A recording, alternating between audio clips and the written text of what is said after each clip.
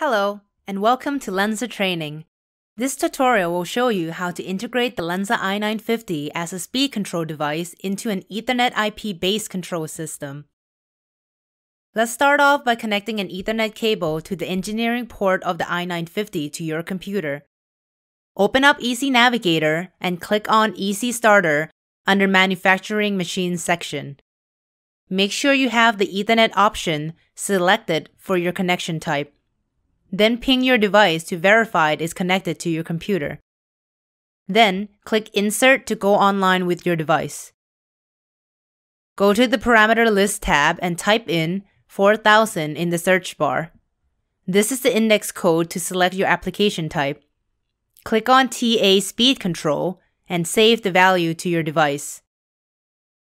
Remove the device and add it again.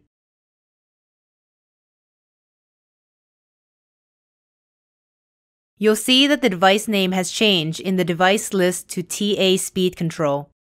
Go to Settings and click on Power Supply. Change the rated mains voltage and the under voltage and over voltage threshold to your appropriate values. Then click on Home. From here, click on Motor and input the motor characteristics.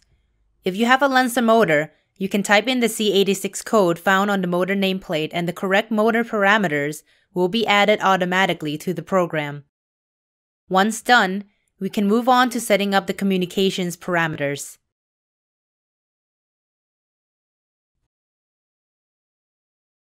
Go to the Communications section under the Settings tab.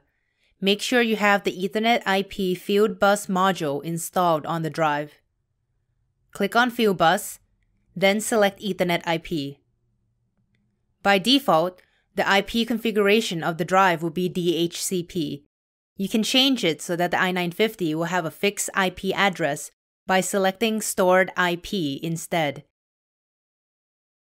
You can then change the IP address, the subnet, and the gateway to your appropriate values.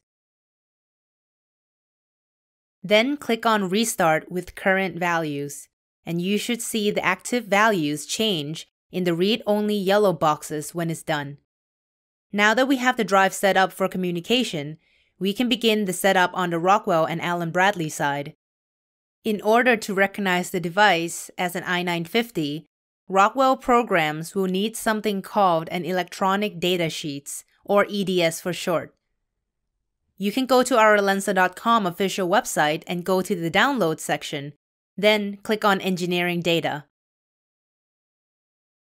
From here, Scroll down until you see Ethernet IP EDS under the device description section.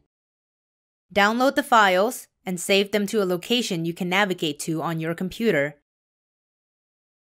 Once you unzip the file, you'll find that it includes EDS files for other Lenze devices as well. For the i950, it should be under the servo inverter folder. In your Rockwell software, go to Tools, and click on EDS Hardware Installation tool.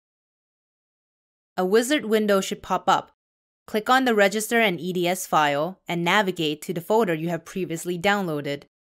From here, you can follow the rest of the instruction on the wizard to install the EDS files onto your computer.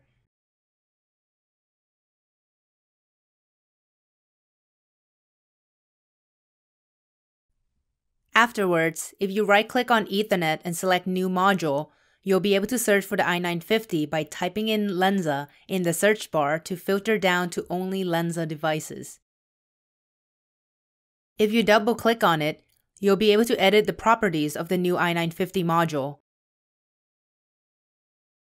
Add in a name for your device, and type in the IP address you previously assigned to it.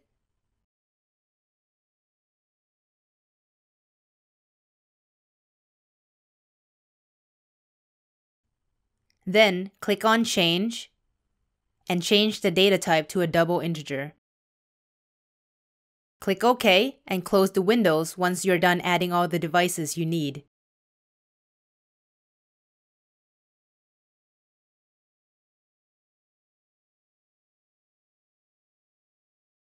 Lenze also developed an add-on instruction, or AOI for short, that will make it easy to interface with the i950's speed control functions. You can import the file into the add-on instructions folder in your program tree. Other than the speed control AOI, Lenze also developed or in the process of developing other types such as the table positioning AOI that you can use in your program. In your main routine, you can then drag the AOI into the rung you will be using for the i950 control. Then assign the inputs and outputs to the i950 you added as a module before.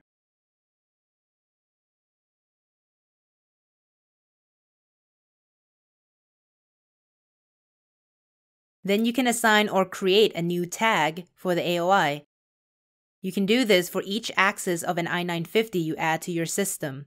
Just remember to create a separate tag for each.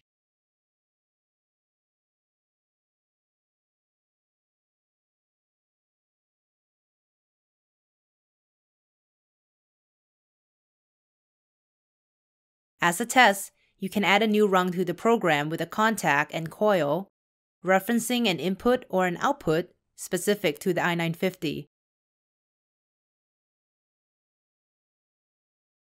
For example, an enable bit and a fault reset bit.